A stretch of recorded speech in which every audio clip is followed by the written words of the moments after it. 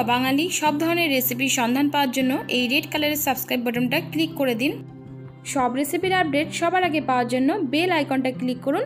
Bell icon click করলে তিনটে option আসবে, তার মধ্যে অল অপশানটা ক্লিক করবেন, তাহলে সমস্ত রেসিপির নোটিফিকেশান সবার আগে পেয়ে যাবে।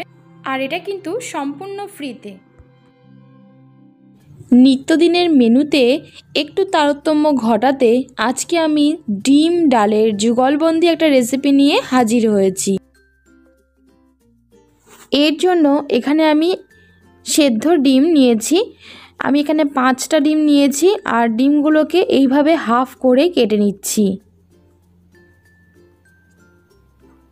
এবারে একটা কড়াইয়ের মধ্যে দিয়ে দিচ্ছি সর্ষের তেল। রান্নাটা অবশ্যই সর্ষের তেলে করবে, তাহলে এর স্বাদটা অনেক অনেক ভালো হবে। তেলটাকে আমি এখন গরম হতে দেব।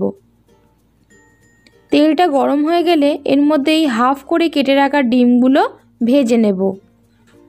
তবে এক্ষেত্রে একটা কথা বলে রাখি, ডিমগুলো যেহেতু আমি হাফ করে কেটে নিয়েছি, আর কুসুমটা যেহেতু আগে ভাজছি, তার জন্য তেলটার মধ্যে দেওয়ার সাথে সাথে কিন্তু একটু ফ্যানার সৃষ্টি হবে। তার জন্য কিন্তু ঘাবড়ে যাওয়ার কোনো কারণ নেই। তো ডিমের একটা সাইড ভাজা হয়ে গেলে আমি এইভাবে উল্টিয়ে দিলাম। এবারে সামান্য হলুদ আর লবণ দিয়ে আমি এটাকে একটু ফ্রাই করে নিচ্ছি। তোমরা চাইলে গোটা ডিম দিয়েও রান্নাটা করতে পারো। স্বাদে কিন্তু কোনো হেরফের হবে না তাতে। এবারে আমি ডিমগুলোকে আবারও উল্টে পাল্টে বেশ ভালো করে ভাজা করে নেব। ভাজা করা হয়ে গেছে। এবারে আমি তেল ছেঁকে ছেঁকে এইভাবে ডিমগুলোকে তুলে নিচ্ছি।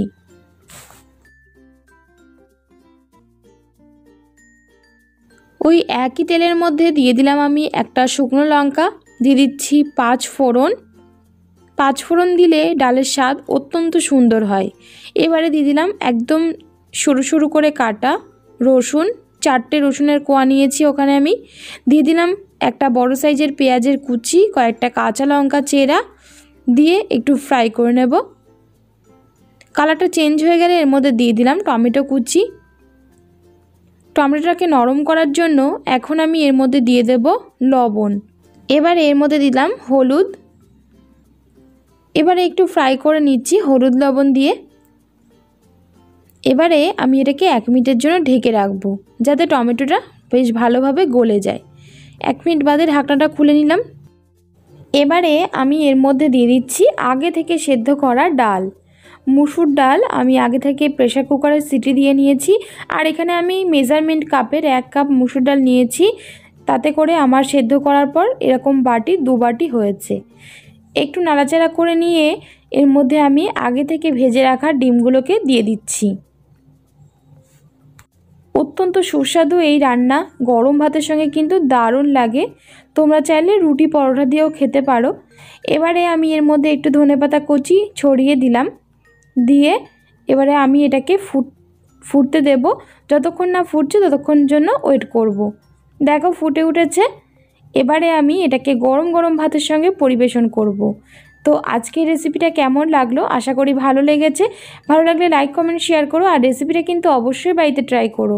নতুন যারা আজকে আমার ভিডিওটা দেখছ এখনও পর্যন্ত সাবস্ক্রাইব করনি, তারাও আমার চ্যানেলটিকে সাবস্ক্রাইব করে আমার পাশে থেকো আর বেল আইকনটাকেও ক্লিক করে দিও।